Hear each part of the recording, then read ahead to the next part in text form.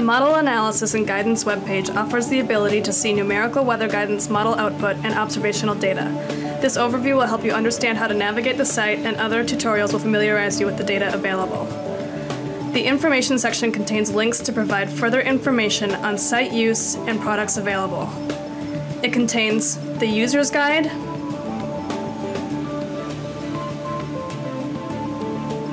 frequently asked questions, the product description document,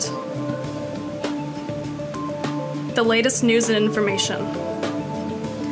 The data access section contains forecast guidance and observational data from a variety of models and sources. It contains model guidance, observations and analyses, tropical guidance.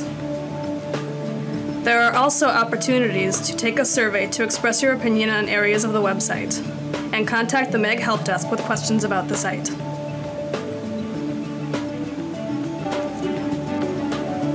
Thanks for watching.